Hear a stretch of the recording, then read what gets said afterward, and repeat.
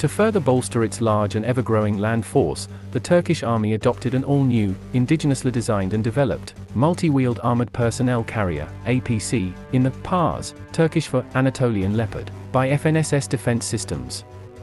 The vehicle was imagined as a semi-modular solution capable of mounting variable weaponry and mission hardware while undertaking a variety of battlefield roles.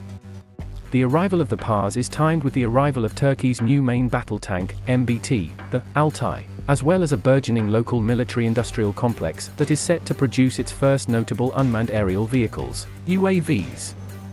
Malaysia is the only other nation having joined Turkey in support of operating the PARS, this as of January 2014. The vehicle is in the same class that includes such excellent offerings as the Finnish Patria.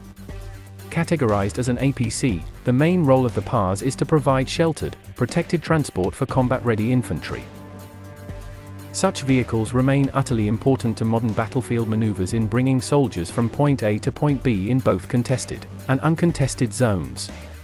The vehicle then dismounts its forces under protection and can provide limited support fire or return to ferry more troops into action. The wheeled nature of the PARS means that it lacks the complexity of a similar themed tracked system as well as high related operating costs generally associated with such types protection for the passengers is somewhat minimal when compared to that as offered by a dedicated infantry fighting vehicle, IFVs, though IFVs are generally called upon to fight alongside companion MBTs and support infantry actions in a more direct manner.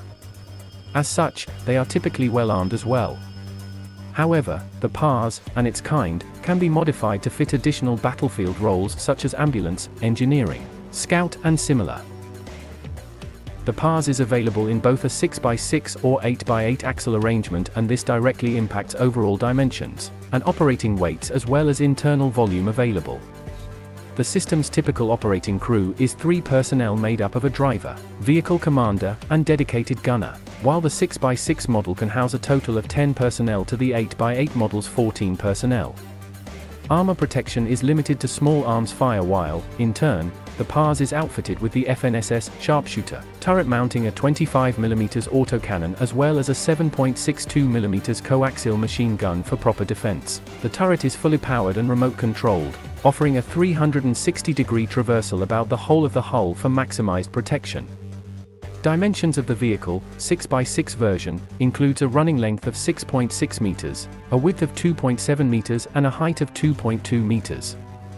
The 8x8 model adds another 1.4 meters to the overall length, while all other dimensions remain the same as the 6x6 model. Drive power is supplied through a single Deutz diesel-fueled engine of 525 horsepower, or a Caterpillar Diesel Series diesel-fueled engine of 600 horsepower, the latter to help contend with the added weight. Drive power is delivered to all of the axles and all wheels are steerable, the latter helping to improve agility. The engine is mated to an automatic transmission featuring 7 forward and 1 reverse speeds. The hull sits atop a pneumatic suspension system that is partially managed, adjustable, by onboard sensors depending on terrain being traversed. Operational range is out to 620 miles with a maximum road speed of 62 miles per hour. The PARS further holds an inherent amphibious quality, able to ford water sources of 1.7 meters. It can also cross trenches of up to 2 meters across. The external profile of the PARS vehicle is consistent with other multi-wheeled armored vehicles currently in service the world over. The forward section has a sloping glacis plate and shallow vision ports for the operating crew. The hull roof line is flat to limit obstructions for the traversing turret emplacement held at the center of the design. The turret also holds banks of smoke grenade discharges for shielding the vehicle against enemy eyes and optics. As the turret is controlled remotely from within the vehicle, it is allowed compact dimensions as no crew are required to take up positions within the turret itself.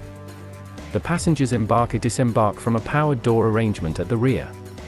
The door consists of a two-piece, upper and lower, hinged rectangular configuration. The upper portion rises while the lower portion lowers, the latter resulting in a handy loading ramp. The passenger cabin features all-mounted fold-down seats as well as protected vision blocks and access hatches along the whole roof.